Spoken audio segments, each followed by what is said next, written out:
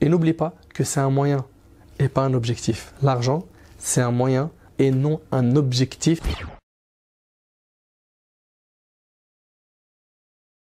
Parce que je vous le dis, je le répète, les gens qui nous entourent aujourd'hui, leur discours c'est gagne beaucoup d'argent, fais beaucoup d'argent, il te faut beaucoup d'argent. Si seulement tu avais beaucoup d'argent, il me faut beaucoup d'argent. Et je le dis, je le répète, ce n'est pas interdit d'avoir beaucoup d'argent. Le problème c'est quand on fait l'objectif principal de ta vie. Ça c'est un.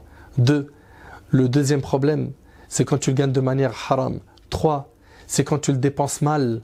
Parce que ne te dis pas, je le dépense dans ce qui est halal, j'ai le droit de faire ce que je veux. Tu peux faire partie des gaspilleurs et les gaspilleurs sont les frères du diable. Fais très attention. Tu peux acheter pour te vanter, pour être orgueilleux. Tu peux vouloir acheter telle et telle chose pour te montrer supérieur aux autres. Fais très attention à ne pas rentrer dans l'orgueil. Fais très attention à ne pas rentrer dans l'excès. Sois quelqu'un d'équilibré.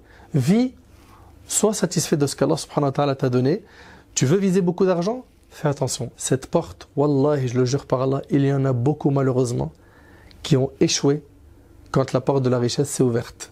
Demande-leur à ces gens super riches, et je ne généralise pas, combien d'entre eux donnent encore beaucoup d'argent, fisabilillah Combien d'entre eux sont à l'image de Uthman ibn Affan Combien d'entre eux sont à l'image des grands compagnons qui étaient riches Tu verras que malheureusement, ils ne sont pas très nombreux Illa Allah, sauf ceux à qui Allah subhanahu wa ta'ala a fait miséricorde, fais sortir la dunya de ton cœur et fais que dans ton cœur, il n'y ait que l'au-delà. Et avec cela, n'oublie pas ta part dans la vie d'ici-bas. Vis, amuse-toi, éclate-toi, voyage. Euh, tu peux manger des bons repas, tu peux bien t'habiller, mais ne fais pas de cela ton principal objectif. Allah barik fik, mon frère ainsi que toi, ma soeur. J'espère que tu as compris que l'islam fixe un cadre à l'utilisation de l'argent. Ne sois pas comme certains, ils perdent les boulons pour avoir de l'argent et ils écrasent leur dîne pour atteindre cet objectif. Ils vont mentir pour gagner de l'argent, ils vont promettre du rêve pour gagner de l'argent. Ça, c'est pas l'éthique du musulman. Le prophète, il n'y a qu'à le voir, c'est le meilleur modèle.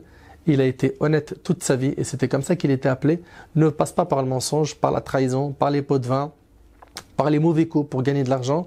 Et n'oublie pas que c'est un moyen et pas un objectif. L'argent, c'est un moyen et non un objectif. Qu'Allah sorte la dunya de nos cœurs